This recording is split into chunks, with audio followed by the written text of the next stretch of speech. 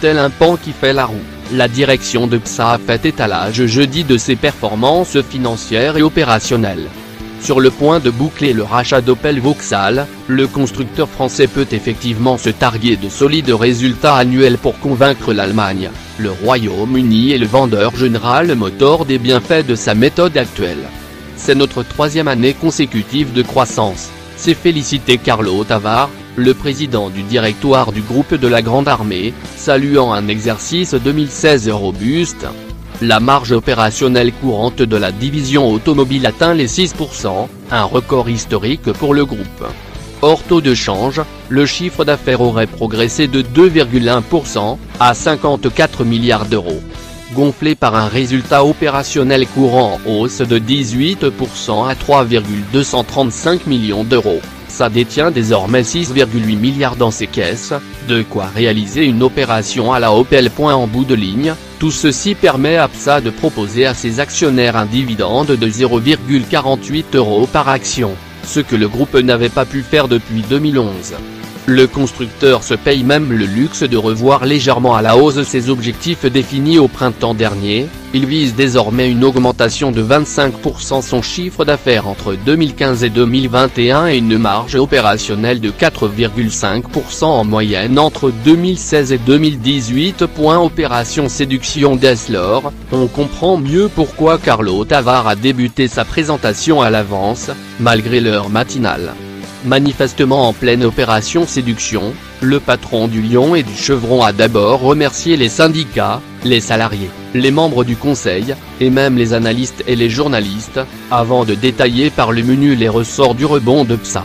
À son arrivée début 2014, l'ancien bras droit de Carlo Ghosn a commencé par réduire drastiquement le train de vie de l'entreprise.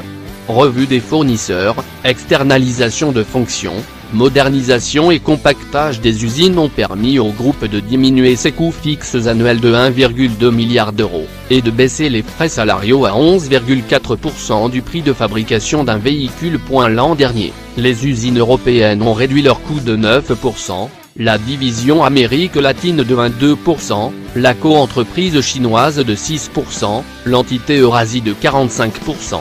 Et le prix de fabrication d'un modèle a encore baissé, de 256 euros cette fois.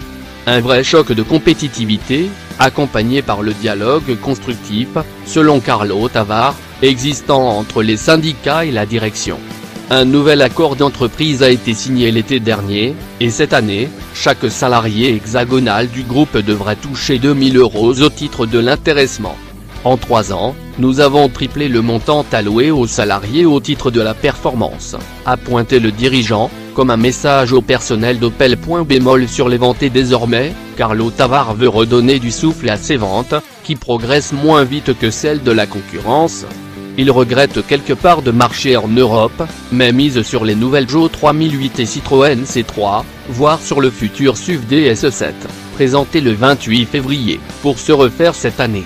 Le carnet de commandes européen est en hausse de 12% par rapport à la même époque l'an dernier, se rassure le dirigeant, qui doit également faire face au dérapage des volumes écoulés en Chine. Là-bas, nous sommes loin de nos attentes, moins rentables mais toujours à l'équilibre, dit-il, ajoutant que 5 SUV seront lancés en 18 mois sur place pour corriger le tir. De même, le constructeur va ouvrir des usines au Maroc, en Inde, en Iran pour élargir son horizon. Pour faire passer ce bémol, le grand pilote de PSA a précisé une dernière chose, son groupe est l'industriel le mieux placé sur le CO2 en Europe, avec une moyenne officielle de 102,4 grammes bar oblique km. Un argument qui peut lui aussi résonner dans les oreilles des ingénieurs d'Opel. Avec notre track record, conclut Carlo Tavard, on pense pouvoir aider Opel.